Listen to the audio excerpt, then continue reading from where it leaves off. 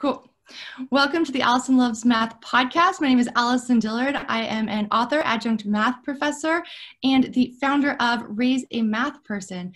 And on this podcast, I'll be interviewing math education and parenting experts to talk about ways that we can empower our children and students to succeed in math, STEM, school, and life. I'm very excited today to have Brent Monte on as a guest. He is the head of the math department at Irvine Valley College. He has a bachelor's in business finance, a master's in mathematics, a PhD in education. He worked for a few years as a financial analyst and accountant, and then for the last 28 years has been teaching and still loves it today. And he's a marathon runner with, was it, how many marathons is it, Brent? I think about 32. 32. That is amazing. So, welcome to the podcast. It's so good to have you here today. Thank you, Allison. It's great to be here. So, one of the reasons why I wanted parents and teachers to hear from you is that you you just have a knack for getting students enthusiastic about math.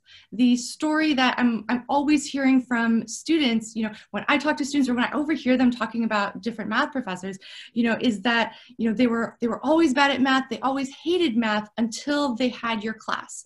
And the, the level of enthusiasm that your students have for, for you and for math you know is something that i know lots of, of teachers um, as well as parents are really aspiring to um, but struggle with. So you know one of the things i just wanted to ask you today is you know what are some tips that you have for for parents and teachers who are just struggling to get students to um, enjoy math and, and work at it? Well i think one thing that you have to bear in mind is especially with math, a lot of students are intimidated by it and don't feel that they really have a natural knack for it.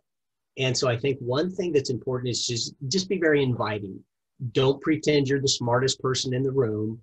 You're more educated probably than most of the other people in the room, at least in mathematics. That's why they're in your class. But they're smart. You're smart.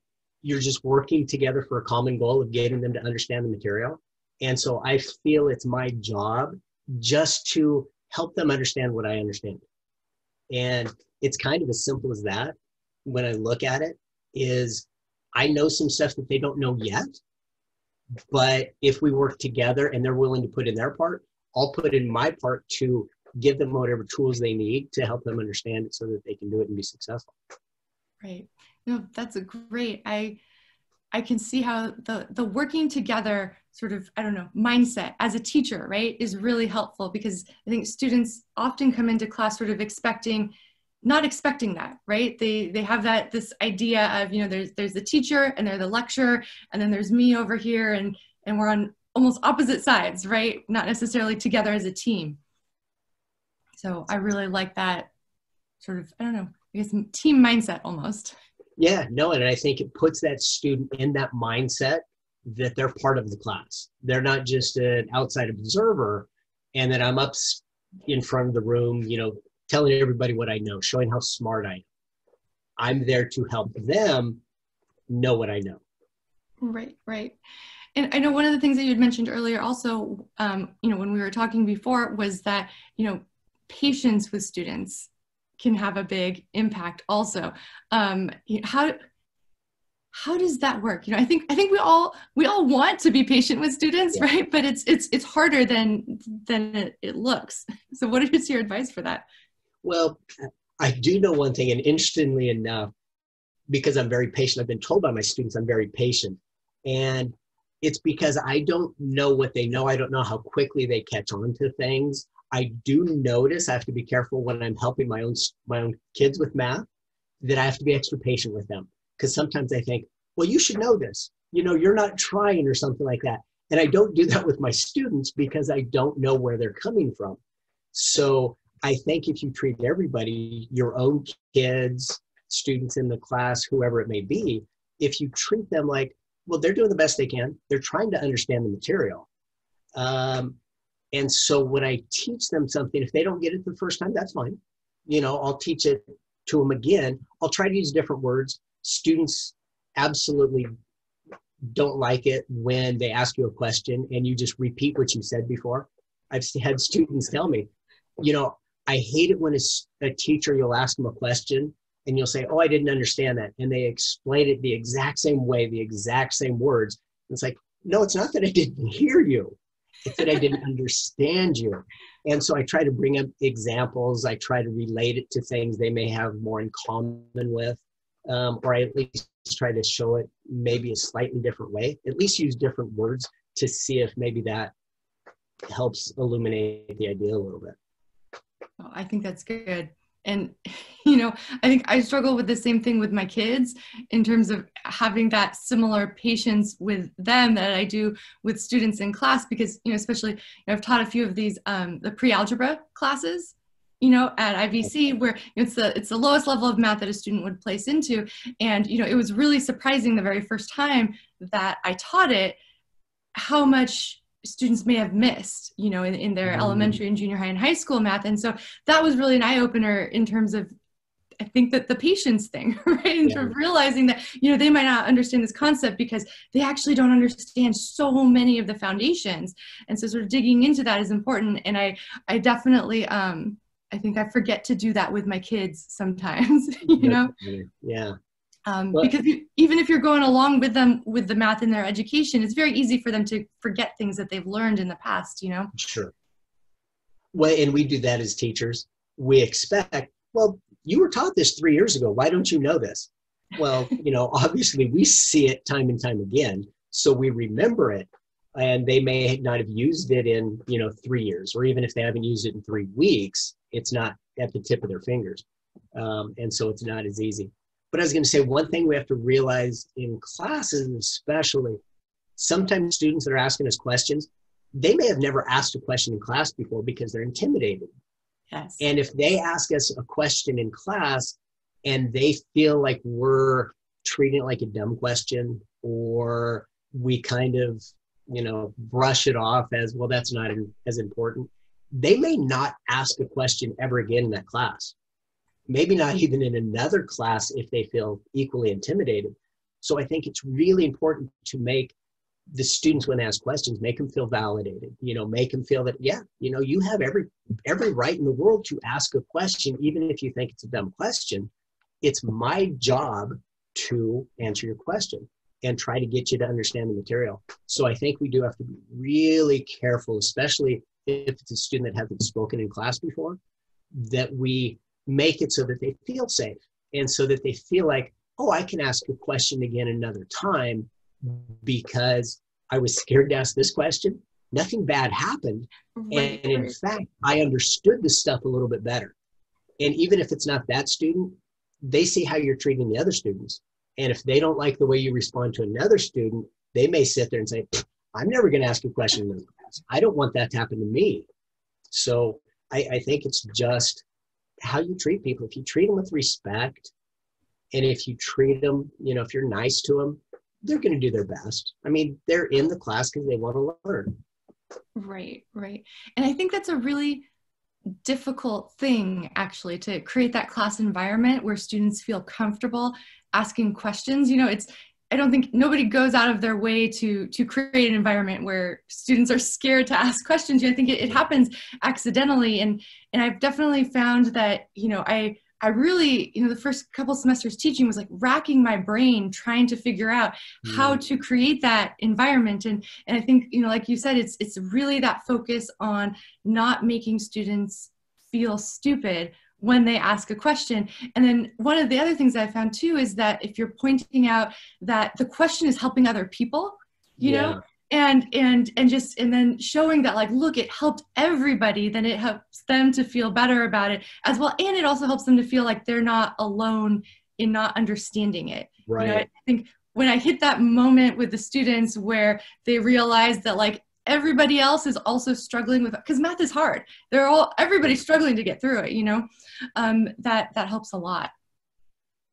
Yeah no i think that's a good point and i think that's a great way to do it because if they feel empowered i mean not only was it acceptable for me to ask this question mm-hmm. but if i helped other people at the same right. time yeah no i think that's a great idea. Yeah and i think you know and again just you know coming out of you know those first few semesters of teaching and and thinking so much about that i think just sort of like how we you know probably spend some time thinking about our lesson plans, right? And how we're going to actually teach the mm. math concepts. You know, if you're struggling with that sort of class environment, it can be helpful to approach it in the same way and actually think about it before class. How am I going to create that positive environment for the students and and sort of and tweak it as you go and improve it the same way that you do, you know, teaching the math concepts. Yeah, no, I agree. And I and there's such a big difference between being a math teacher and being a mathematician. Mm. So you may you may know math really well. And I will be perfectly honest, I think at my school, out of our math department, I'm not one of the ones that knows math at the top of the school at all. I relate to the students, you know, as well or better than a lot of the other instructors. Um, and that's that's that's what the students care about. If they if i know math and really but i can't explain it to them it doesn't help.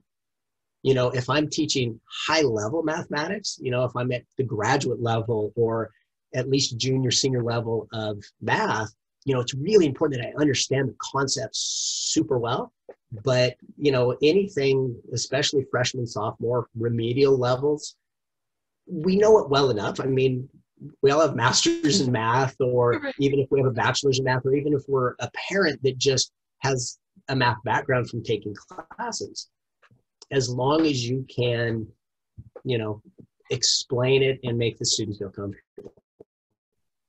Um, yeah. No i think i and think to the student yeah i've had students say a lot of times well you could tell this person really understood math really well. They just couldn't explain it very well. And that's you know oftentimes the students don't want to take that teacher. Right right. And you know honestly i think what you're saying is true even for the the higher levels of math you know because if if you think back to when you were in school and taking you know classes for like your masters right? And I, I know i found this you know even for those really really hard math classes um you know having a teacher who actually who who cared about mm-hmm. you know your success who created that environment where you can ask questions and stuff like that all of those things really added to you know enjoying the class and enjoying math and continuing mm. with it and all, all, of those things. So um, you know i think yeah at all levels actually that's really helpful. Yeah no i think you're right.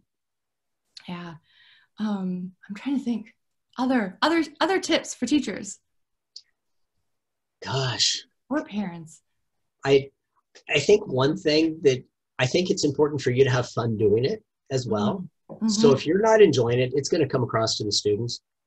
I, I'm a co-chair of the math department, and so I'll go in. One thing I'll be interviewing people for full-time jobs, and you see teachers that come in and they're uh, obviously they know the material, but they come across and just their personality is a little bit condescending, mm. or and they don't they're not meaning to, Right. And I think sometimes you have to be very conscious about that and you have to realize, you know, how am I coming across to the students?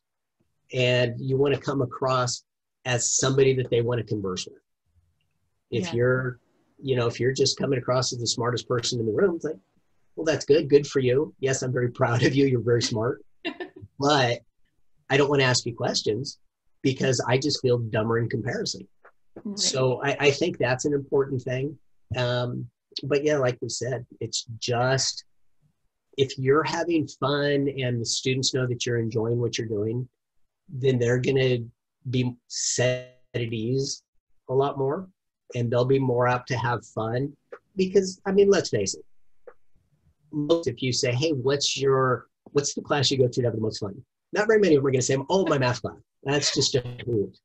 Right. So, so we realize that, and a lot of us enjoy math, I enjoy math and I appreciate math. I don't consider myself a mathematician because I don't love math, but I absolutely love teaching.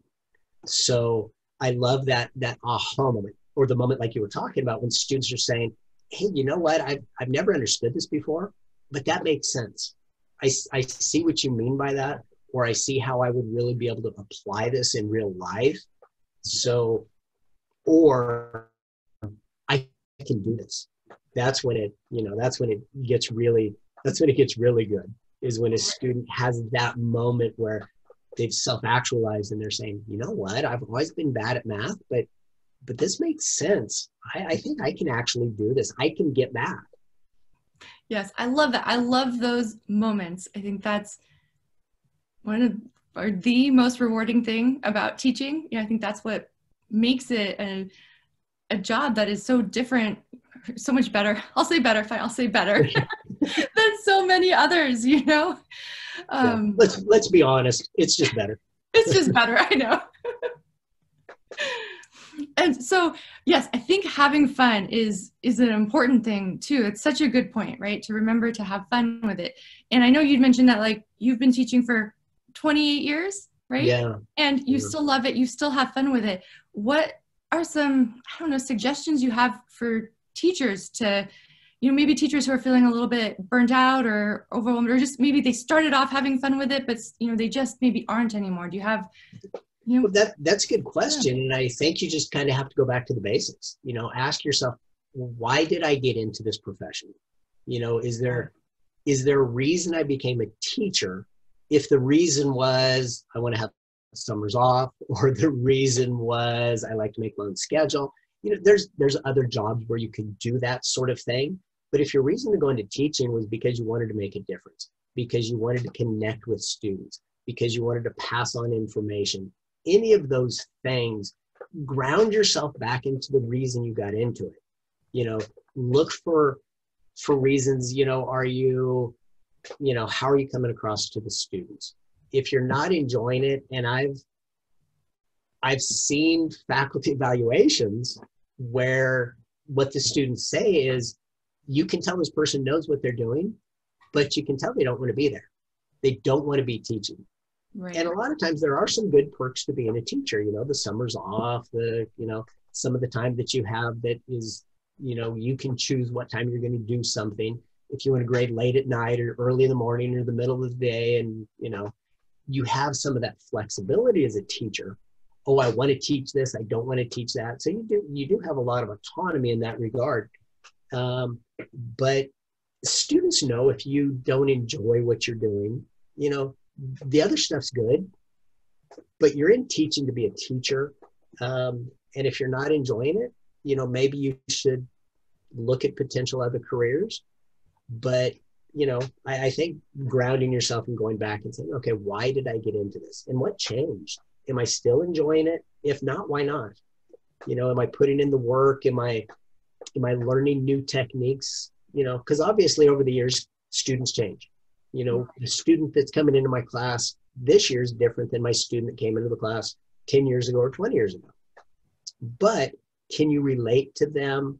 You know is the learning style changed? Does your teaching style have to change? Do you have to adjust? Because it's not i think that's one thing as we teach longer and longer is we get to the point where we say well the students are different well yeah so maybe you have to be different to connect with the students. Don't expect them to come in to adjust to you. Right. You might have to adjust to the students. And i'm not saying dummy down the curriculum. I'm not saying you know let them pass when they shouldn't pass.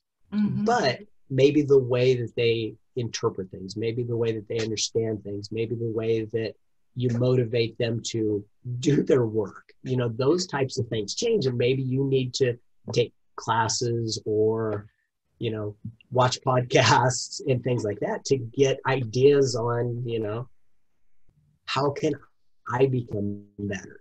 Right right.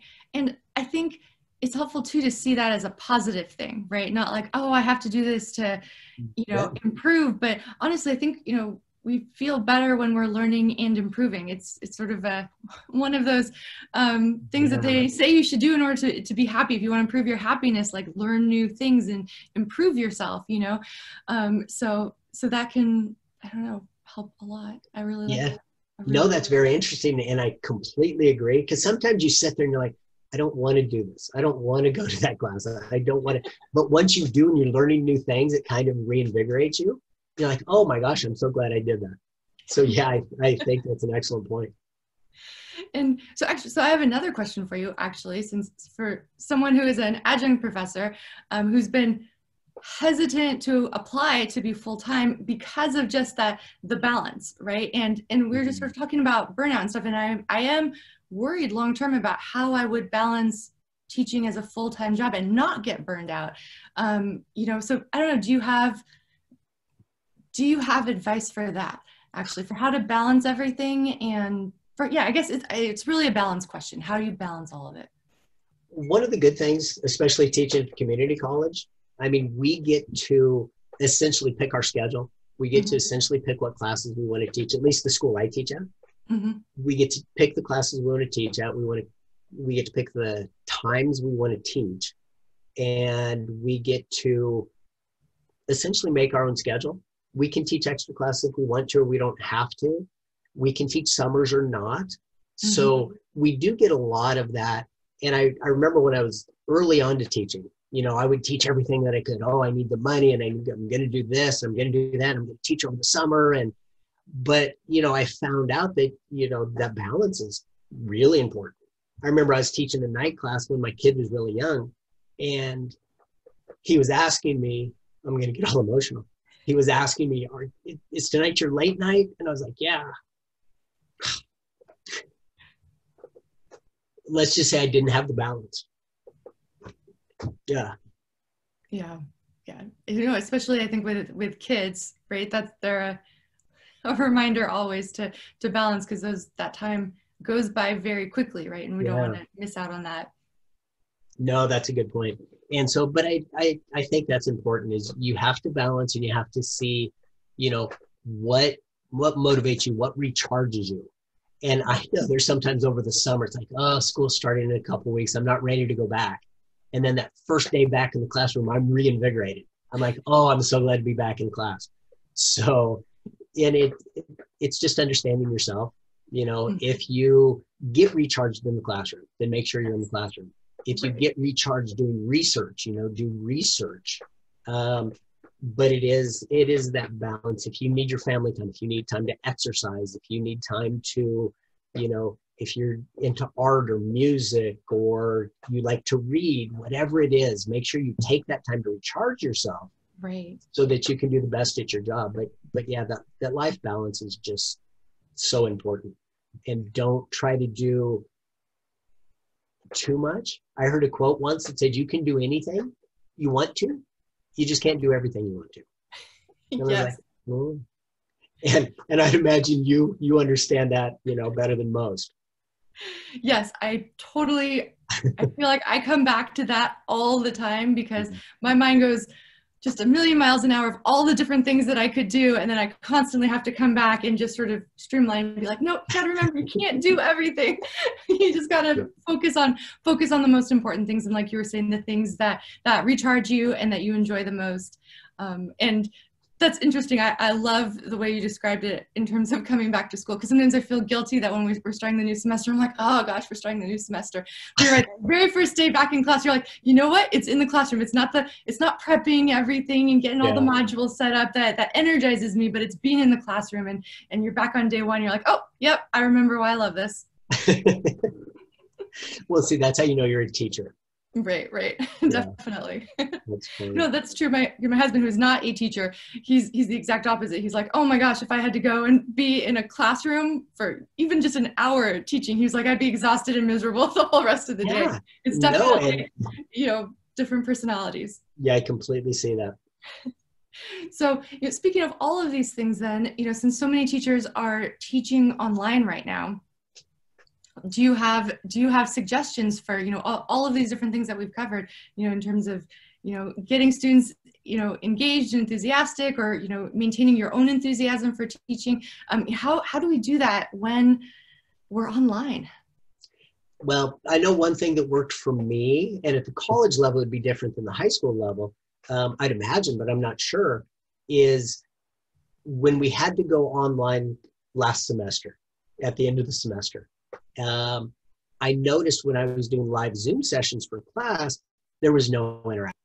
We would be talking and I'd be lecturing. Hardly anybody would say anything and ask questions. And in class, when we're in the classroom, students are interrupting me all the time. I'm putting a problem on the board. I'm like asking, okay, here, do this at your desks. And then, okay, you know, I give them a couple minutes and then I ask, okay, who, who can solve this? And they yell out answers and things like that. And then that was missing in my lecture. So what I did is I essentially flipped the classroom. Mm-hmm. I pre-made all my lectures because I said, well, they're not going to interact anyway. I will just do the lecture. Right. Cut it down because I know they can rewind and watch examples over again. So I cut down my lectures from maybe an hour of lecture to 20, 30, 35 minutes, put them on YouTube. I have the students go to YouTube first and watch the lectures. And then when we come to class, we meet at the regular class time, but they can ask questions on the homework. They can ask questions about anything they didn't understand.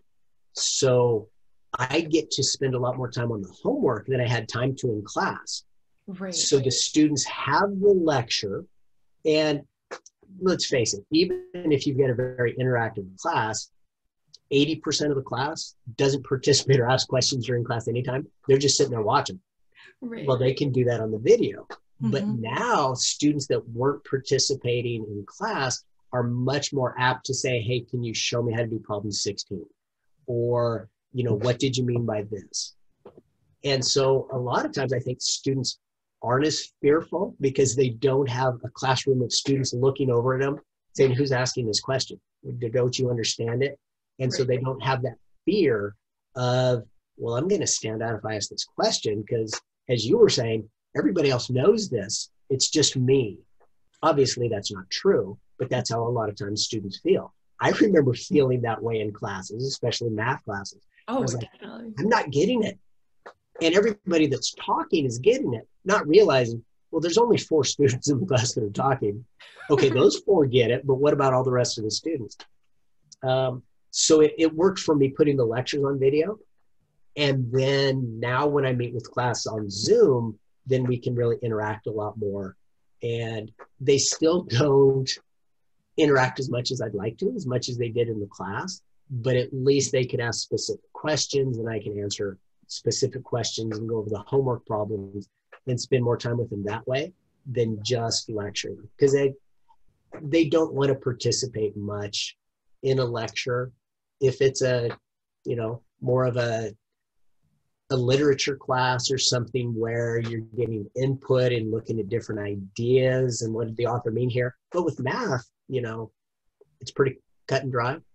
And you mm-hmm. say, okay, here's this problem, here's how we solve this. There's not a lot of debate about how we're going to solve it. so for the most part, it's there's not that tort that sort of give and take. Right, but it's right. it is definitely a challenge to get the students involved and active. Mm-hmm. And the more lecture you can do ahead of time that they can watch, the more time it gives you to be interactive. And so that's at, at least that works better for me. Mm-hmm. It's not ideal, but oh, that's a great idea. I do enjoy that. Right. Yes. No, that's a great idea. I think you know. I think I sort of did um, in the spring sort of an abbreviated version of that. You know, I, mm-hmm. it, what you said actually is exactly what I tried. I was like, oh, I'm going to record all my lectures ahead of time. And I didn't realize I'm not used to recording my own lectures and I hate my own voice. And so I, I, I, tried to do the first one and then I was like, I must have recorded like the first problem like seven times. I'm like, oh, this is not going to work at all. So then I just, I told the students, I was like, look, I'm going to record the lecture, you know, live on Zoom at this time. So that way, if you want to join me, you can. And actually just having some of the students there who did want to see it live enabled me to push through and okay. not worry about getting it perfect and just record the whole thing because yeah, it weirded me out just um, lecturing to nobody. That's funny. Yeah, I think you're more of a perfectionist than I am although I'll watch, I usually don't watch most of the videos that I do. I'll make sure that they recorded properly and stuff. And sometimes I'll watch them like, ooh, that was a good example. Oh, that was, and so sometimes I'll say something that's pretty good. And sometimes I'll say, oh, I should have said this, or, you know, I didn't write that very clearly. But I, luckily for me, I'm not that much of a perfectionist. So I let it go. You know, um, and, and I'm not either. And I had to, I knew that I had to let go of that perfectionism for that because otherwise there's there's so many so much to record when you're lecturing and it's it's lecturing as a teacher you only have time to lecture you don't have time to like make perfect right. videos you know so yeah that was that was a very interesting um learning moment right when we moved online that is funny yeah oh man oh man we are um i can't believe we are out of time already um i'd wanted to ask you a little actually let's we've got a couple more minutes. I want to ask you a little bit about just how you got into teaching because I know you that wasn't exactly um, what you Uh. started out doing. So can you just tell me just you know a little bit about Yeah, I'll, I'll give you. Yeah, let me give you a brief about that. Because I started out, I was going to be an engineering major, and I went to community college, and I had a physics class. I was like, I'm not going to be an engineering major. So I thought, well, I'll be a math major. And I would tell people, oh, I'm going to be a math major, and they're like, well, what are you going to do? Teach? I was like, oh, good heavens, no, I'm not going to teach. and so I decided I, I got out of math because I knew I didn't want to be a teacher, and I went into business. And then I was in business. I got my bachelor's in business, as you mentioned, and I worked for a CPA firm. And I was sitting there studying for the CPA exam, thinking, I don't want to do this. I don't enjoy this job. And at that point, I thought, I need to do something else. And I remembered I was a tutor at the math center when I was in community college, and I loved it. And I did some private tutoring. And I thought, you know what? I want to go into teaching. And interestingly enough, I had it narrowed down to either math or creative writing. I wanted to teach Oh, one of those interesting. and I didn't know which one I wanted to do. And I ended up choosing math because I figured, well, that's going to be a lot easier to grade the test. I remember trying to grade people's essays when we were just we'd pass out essays in class and read each other's essays, and I, I knew I kept trying to make their essay my essay, and I was like, well, I'm not very good at that. So I thought, well, I'll go into math because I knew I wanted to be a teacher, and that's why when people say, oh, well, you're a mathematician, it's like, nah, I'm a teacher who teaches math, but I don't consider myself a mathematician because I didn't get into teaching because I love math. I got into it because I love teaching. Right. And I think that's one of the things that makes me more relatable to the students is that I, I enjoy teaching. I'm not just, hey, I love math. Now, if I love math and I want to help other people love it too, then, you know, you're really on to something. Um, but so I, you know, it was kind of a circular route but my advice to students and anybody else is if you don't love what you're doing try to find something where what's your passion what do you want to do what do you enjoy and i was lucky enough to find that i really enjoy and kind of have the knack for teaching and relating with the students in the classroom Right. That's so interesting that you said that. I feel like my college experience was very, very similar. I was actually a, a math major and an English major, and and um, I worked as a an actuary for one summer before my Ah. senior year, and it was it was the same thing. I was studying for the actuarial exam, and we're doing all this like modeling for like I don't know, death rates to like maximize benefits and for retirement plans for insurance companies. And i really was sitting there being like i i do not want to do this you know? And much less for a year but imagine doing it for decades. And and it was that same sort of thing that moment of you know what i've got to find something that that i love. Um, and i think that's great advice for students is really listen to yourself. You might think that you want to do one thing but when you're actually in it and doing it do pay attention because life is long your career is long you know and if you're Yeah. you're not enjoying it that early on you don't want to stick with it the long in the long run yeah find something you love Well, and I can say I appreciate the fact that you went into teaching because, as you know, anybody watching this, I'm sure they don't know. I had my own daughter take your class because all the interactions we've had, you know, I know you as a person, what I've heard from other students, they love you. And so my daughter was in your class and she loved you as well. So it was it, it was a nice it worked out really well. And so I, I appreciate the the passion you have for teaching and for you know doing things like this where you know making it easier for students to understand making it easier for parents and other teachers to you know kind of get a, a feel for doing the best they can oh well thank you so much absolutely um i'm trying to think. I think is there anything else? Otherwise i think we're, we're just about out of time. Um, but i think we've covered a ton a ton actually of, of helpful things hopefully for for teachers. I can imagine that there's a lot of teachers who learned a lot of helpful tips from you today. Yeah no i i you know i hope they did. I mean i i thank you for what you're doing because I, I appreciate the fact that you're reaching out to you know just to help other people and that's you've got a knack for it. And I, you know, it's something that I can't do, but I think you're you're you're passed in both math and you know you were saying in English both come together and you're able to write books and you're able to do things that you know that's not me. You know i'd be more a creative writer and i'd make things up. And that's probably not what they're they're looking for. It helps me come up with examples when i'm trying to explain things to students well think about it this way and i like to do analogies. Um, but math analogies yes. Exactly. Exactly. Awesome. Well thank you so much for coming on today. I'm so um so excited to have gotten a chance to interview you and i, I appreciate you taking the time to do this so much. Well thank you Allison. i had fun. It was good being here and best of luck to you. Thank you. And if you're listening, thank you so much for listening with us today. Um, I will see you next week.